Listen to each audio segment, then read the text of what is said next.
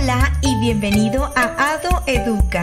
Hoy nos sumergiremos en un mundo animal súper interesante. Animales de la tundra. La tundra es un bioma frío y árido que se encuentra en regiones cercanas a los polos como el Ártico y las cimas de las montañas de alta altitud. Los animales que habitan en la tundra han desarrollado adaptaciones especiales para sobrevivir en condiciones climáticas extremas, como temperaturas muy bajas, vientos muy fuertes y escasez de alimentos durante gran parte del año.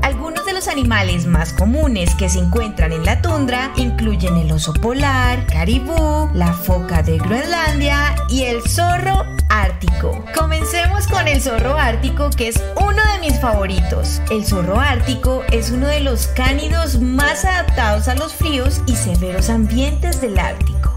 Es un mamífero de la familia Canidae, la misma familia de lobos y perros. Su nombre científico es Vulpes lagopus. Hábitat y ubicación geográfica. Nos sirve para conocer cómo es el ambiente donde vive un animal y en qué parte del mundo se encuentra. El hábitat del zorro ártico se encuentra en varios entornos del Ártico y subártico, incluyendo tundras, zonas costeras, estepas y áreas montañosas de diversas regiones frías del mundo. Se distribuye en varios países de América del Norte, Europa y Asia.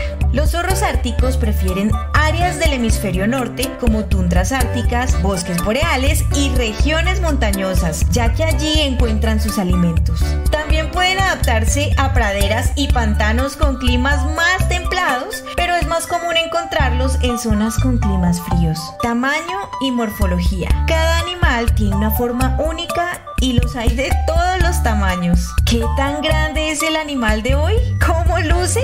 Los zorros árticos son animales de tamaño pequeño a mediano. Machos pueden alcanzar un peso entre 3 y 9 kilogramos, mientras que las hembras suelen tener un peso de alrededor de 2 a 7 kilogramos. Tienen un pelaje adaptado a climas fríos y extremos. Los zorros árticos son animales mamíferos. Significa que pertenece al grupo de animales que cuando nacen deben alimentarse de la leche de sus madres. Tienen sangre caliente y están cubiertos de pelo. Adaptado al frío. El zorro ártico tiene un pelaje denso con varias capas que les permite sobrevivir en el frío extremo. Es blanco y a veces se torna grisáceo porque le da un camuflaje eficaz en la nieve. Un dato curioso es que las orejas del zorro ártico también les ayudan a mantener el calor y su temperatura corporal en el difícil clima en el que viven. Cola. Además de tener un pelaje grueso para el frío, su cola también les da equilibrio cuando corren y la usan para comunicarse. La levantan y la mueven de diferentes maneras para transmitir señales a otros zorros o animales. Patas adaptables a la nieve. Tienen patas peludas y gruesas, lo que les proporciona un aislamiento adicional y les permite moverse sobre la nieve sin hundirse. Además, tienen almohadillas en las patas que les ayudan a caminar sobre el hielo y superficies resbaladizas. Diferencias entre machos y hembras. Los machos son un poco más pesados que las hembras. Mientras que los machos pesan hasta 9 kilogramos, las hembras pueden pesar hasta 7 kilogramos. Sin embargo, su altura es similar, pues ambos miden entre 25 y 30 centímetros en promedio. Hagamos un repaso. ¿Para qué sirve la cola de un zorro ártico? A. Caminar sobre la selva. B. Mantener el calor, el equilibrio y comunicarse. O C. Nadar con facilidad. La respuesta correcta es la B. Mantener el calor, el equilibrio y comunicarse. La cola del zorro ártico es una característica adaptativa crucial que le ayuda a sobrevivir en su hábitat extremo. Proporciona aislamiento térmico, ayuda en la caza y el camuflaje, contribuye al equilibrio y se utiliza en la comunicación con otros zorros. ¿Qué opinas de este superpoder? hábitos y comportamientos. Así podemos saber qué hacen en su día a día, si viven solos o en manadas, qué comen, si se mueven de día o de noche. ¿Cómo es el día a día de un zorro ártico? En gran parte de su día se dedican a buscar alimento cazando animales pequeños. Después de comer, buscan refugio en madrigueras para protegerse del frío extremo y descansar. ¿A qué hora del día están activos? Los zorros son crepusculares y nocturnos, es decir, que hacen sus actividades durante el amanecer y anochecer, así como en la noche. Sin embargo, también pueden estar activos en el día. Tienen periodos de descanso a lo largo del día y la noche. ¿Viven solos o en manadas? Los zorros árticos son animales solitarios que viven y cazan en sus propios territorios. No forman manadas permanentes, pero durante la época de apareamiento hacen pareja para criar a sus cachorros. A los zorros árticos bebés se les puede llamar cachorros. ¿Qué responsabilidades tienen con su manada? Como vimos antes, los zorros árticos no forman manadas, viven solos, pero cuando se aparean tanto el macho como la hembra, tienen la responsabilidad de proteger a sus crías y darles alimentos en sus nidos hasta que sean grandes y puedan sobrevivir solos. ¿Cómo se mueven los zorros árticos? Sus cuatro patas están adaptadas para caminar y correr con facilidad en la nieve profunda y en superficies resbaladizas. Además son excelentes nadadores y se desplazan en distintos cuerpos de agua de su territorio. Aunque no son escaladores ágiles como otros animales, pueden saltar distancias cortas y trepar pequeñas elevaciones. También son capaces de excavar en la nieve para crear madrigueras, túneles y refugios usando sus patas delanteras y hocicos. ¿Qué velocidad puede alcanzar un zorro ártico? Los zorros árticos pueden correr velocidades que oscilan entre los 48 y los 50 kilómetros por hora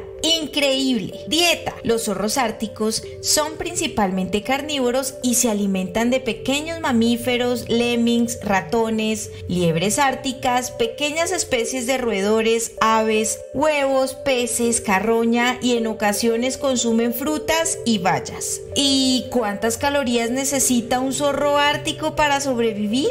La palabra caloría se refiere a la energía que obtenemos de nuestros alimentos y que nos ayudan a hacer todas las cosas que hacemos todos los días como caminar, jugar, estudiar y muchas cosas más. Para que un zorro ártico se mantenga sano, debe comer entre 400 y 600 gramos de alimentos al día, lo cual le proporciona las calorías necesarias para sus actividades. Si nosotros quisiéramos comer eso al día, necesitaríamos comernos alrededor de casi 5 hamburguesas diarias. ¿Puedes creerlo? Los zorros árticos son cazadores ágiles y persiguen a sus presas usando su agudeza visual y auditiva para detectar movimientos y sonidos de pequeños animales. Una vez que localizan a la presa, se acercan sigilosamente y hacen rápidas embestidas para capturarla.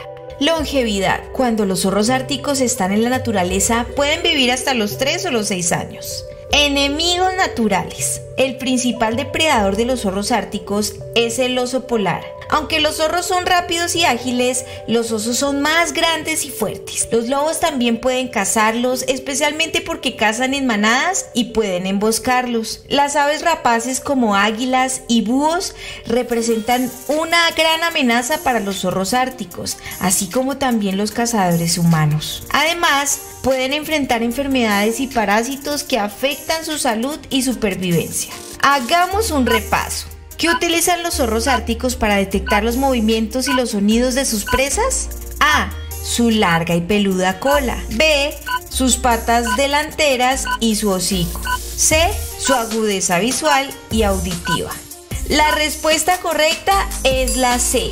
Su agudeza visual y auditiva, ya que les ayuda a detectar los movimientos de sus presas desde antes para así atacarlas. Nivel de conservación. Algunas especies de animales corren el peligro de extinguirse y el nivel de conservación nos indica qué tan grave es el peligro que corren y por qué están amenazadas. De acuerdo a la Unión Internacional para la Conservación de la Naturaleza, el zorro ártico es un animal en estado de preocupación menor. Esto no significa que no hayan preocupaciones sobre su conservación, ya que pueden estar sujetos a presiones locales como la caza no regulada, la pérdida del hábitat y los efectos del cambio climático en su entorno. De hecho, el camino climático es una gran amenaza que enfrentan los zorros árticos. El derretimiento del hielo marino y la alteración de los ciclos estacionales pueden afectar la disponibilidad de presas y modificar su hábitat. ¿Y qué podemos hacer nosotros para proteger a los zorros árticos?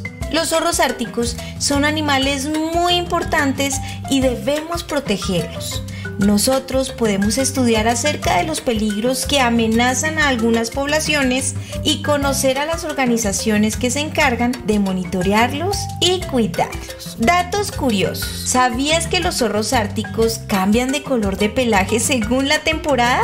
Tienen una muy buena visión y oídos especialmente grandes y agudos. Es el cánido más pequeño de Canadá. Los cachorros son de color marrón oscuro. Tienen una de las pieles de mamíferos más cálidas del mundo. Sus madrigueras son tan grandes que caben generaciones enteras. Sus narices, ojos y orejas son pequeñas como precaución contra el frío. Qué divertido fue aprender sobre zorros árticos junto a ti. ¿Qué otros animales asombrosos nos esperan? Te esperamos en el siguiente video para descubrirlo.